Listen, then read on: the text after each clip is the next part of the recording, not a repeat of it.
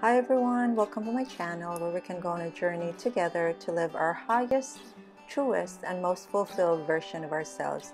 Please don't forget to subscribe and hit the notification bell so you will know every time I post a video. Thank you so much for your support. Today's video is a continuation of my appreciation for the oceans, the beach, the sea. For last Tuesday, my video was all about the sea also, being World Oceans Day last June 8. And as we continue to celebrate the whole week, as the World Oceans Week, I am posting this video. It's all about my love for the, the ocean, any body of water. I love it. There's something about a body of water that makes me calm and there's healing and just overall feeling good and inspiring. On this video, I'm showcasing our beautiful Calf Pasture Beach here in Norwalk, Connecticut. Enjoy! Calf Pasture Beach is a historically significant park and beach in Norwalk, Connecticut, about 0.45 square miles big. This large O-shaped sculpture is about 35 ton tall steel and concrete sculpture made by Peter Lundberg. And he named this sculpture Odin. It's after the Nordic blood because he is from Sweden. This has been displayed in Rhode Island, now in New York, and now has permanent residence here in Calf Beach. It's beautiful. This is the fishing pier and a lot of fishermen here all the time, especially during the summer. And the most popular species caught here are striped bass, bluefish, and tub gurnard. The pier looks great with the new paint and stain. It looks new. I love it here. I love walking and you can see in the background the Norwalk Islands. There are four Norwalk Islands. They are the the Chimon, Cockenoe, Ski, and Sheffield. It's basically Ski and Sheffield that are kind of bigger and uh, people are allowed to explore on those islands. The islands are used for several different types of recreational activities, including camping, boating, kayaking, swimming, bird watching. Ownership of the islands varies with about a half dozen held in private hands, some owned by the governments of Norwalk or Westport, and some are part of the Stewart McKinney National Wildlife Refuge. When I will have the chance, I will visit again those islands two islands, main islands, and I will hopefully share those videos and those trips to you guys, day trips. This beach was used by Connecticut colony settlers in the 17th century as grazing land for cows. Also was used for disembarkation and encampment during the Tryon raid of the American Revolutionary War in 1779. In 1917, the Norwalk City legislature authorized the city to acquire and create a park at Calf Pasture Beach.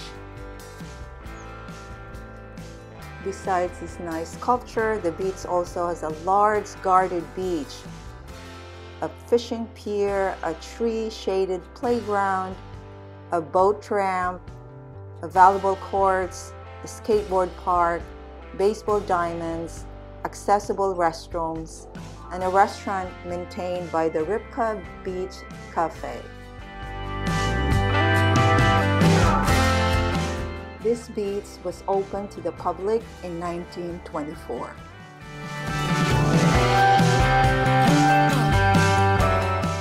During the spring and fall seasons, the parking lot at Pasture Beach is used for kart racing. I've been to this racing for a few times is fun.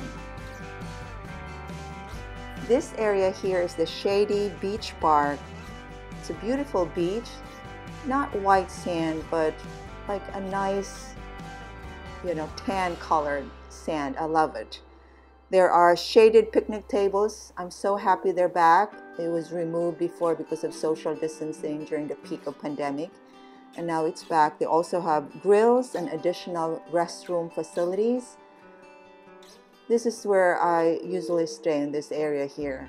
And my mom and I come in here often to just have our lunch and play Scrabble.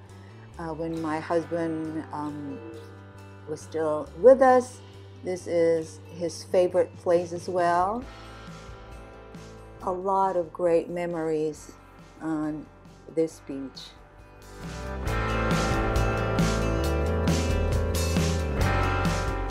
This part of the beach was acquired only in the 1960s.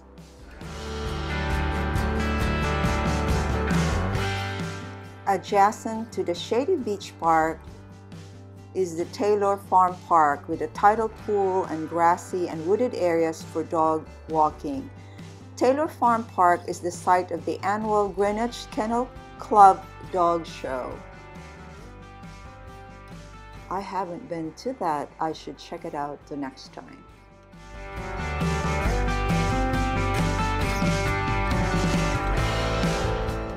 From the shady beach park, you can pass by right here to Taylor Farm Park that's adjacent there across is the and uh, I took a video last winter and here it is.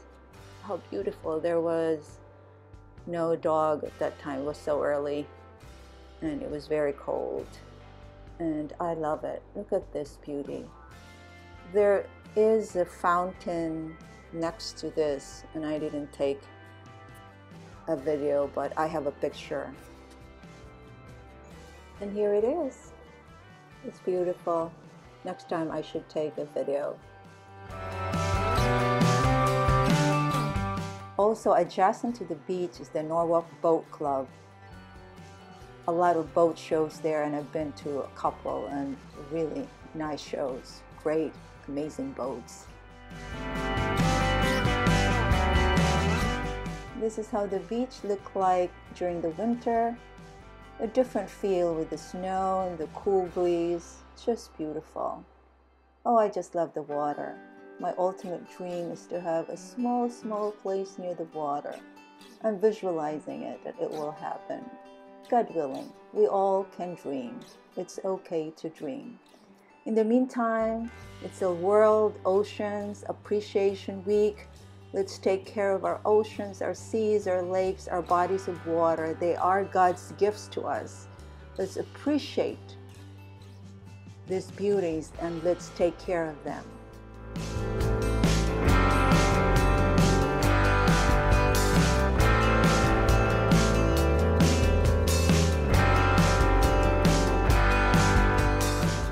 So go out there and explore the oceans, the seas, the beaches, do sea gazing and enjoy every minute of it. And I'll see you in one of the beaches somewhere, who knows? It's a small world after all. Thanks again for watching. Be kind, be loving, and be inspired. Take care, everybody. Bye bye.